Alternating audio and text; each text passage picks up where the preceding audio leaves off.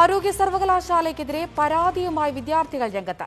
എല്ലാ വിദ്യാർത്ഥികൾക്കും Covid vaccine നൽകിയെന്ന സർവകലാശാല വാദം തെറ്റാണെന്ന് വിദ്യാർത്ഥികൾ പറയുന്നു. മാതൃഭൂമി ന്യൂസ് ഞങ്ങൾക്കും പറയാനുണ്ട് പരിപാടിയിലാണ് വിദ്യാർത്ഥികളുടെ പ്രതികരണം.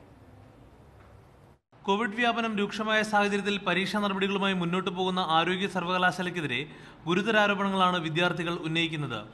മുഴുവൻ കുട്ടികൾക്കും വാക്സിൻ നൽകിയെന്ന് ഗവർണറെ തെറ്റിദ്ധരിപ്പിച്ചാണ് സർവകലാശാല പരീക്ഷയ്ക്ക് അനുമതി നേടിയതെന്ന് വിദ്യാർത്ഥികൾ പറയുന്നു. നാൽപ്പത്തൊന്ന് പോയിന്റ് നാല് ശതമാനം ആൾക്കാരും വാക്സിനേറ്റഡ് അല്ല. അതിൽ twenty six point four percent ആൾക്കാർ മാത്രം ഒരു ഡോസ് മാത്രമേ വാക്സിൻ എടുത്തിട്ടുള്ളൂ. ഓൺലൈൻ ക്ലാസുകൾ മാത്രമേ നടത്താവൂ എന്ന സർക്കാർ ഉത്തരവ് കാറ്റിൽ പറത്തി കോളേജുകളിൽ ഓഫ്ലൈൻ ക്ലാസുകൾ നടത്തുന്നുണ്ടെന്ന് പരാതി ഉയർന്നു. ഹോസ്റ്റലുകളിൽ കോവിഡ് മാനദണ്ഡങ്ങൾ പാലിക്കാതെ രോഗലക്ഷണമുള്ളവരെ പാർപ്പിക്കുന്നതടക്കമുള്ള വിഷയങ്ങളും വിദ്യാർത്ഥികൾ ചൂണ്ടിക്കാട്ടി. ഹോസ്റ്റൽ എന്താണെന്ന് വെച്ചാൽ ഞങ്ങൾക്ക് ഇവിടെ സിംറ്റംസ് ഉള്ളവരും കോവിഡ് പോസിറ്റീവ് ആയവരും ഉണ്ട്. അപ്പോൾ അവരൊക്കെ ആയിട്ട് ഞങ്ങൾ പ്രൈമറി കോൺടാക്ട് ഉണ്ടെങ്കിൽ പോലും ഞങ്ങൾ മാനേജ്മെന്റിനെ അറിയിച്ചതാണ്. ഇതുപോലെ ഞങ്ങൾ പ്രൈമറി കോൺടാക്ട് ആണ്. ഞങ്ങൾ ഒരേ വാഷ്റൂം ആണ് യൂസ് ചെയ്യുന്നത്. ഹോസ്റ്റലിൽ ഒറ്റ ബിൽഡിംഗ് ആണ്. അങ്ങനെയൊക്കെ ഞങ്ങൾ മാനേജ്മെന്റിനെ അറിയിച്ചിട്ടും ഒരു ആക്ഷനും ഇതുവരെ ആയിട്ട് എടുത്തിട്ടില്ല. അവരൊരു റെസ്പോണ്ടും ചെയ്യുന്നില്ല. പരാതികളിൽ സർവകലാശാല അനുകൂല നിലപാട് സ്വീകരിക്കുമെന്ന പ്രതീക്ഷയിലാണ് ആരോഗ്യ സർവകലാശാലയിൽ അധ്യയനം നടത്തുന്ന ആയിരക്കണക്കിന് വിദ്യാർത്ഥികൾ. മാതൃഭൂമി ന്യൂസ് തിരുവനന്തപുരം.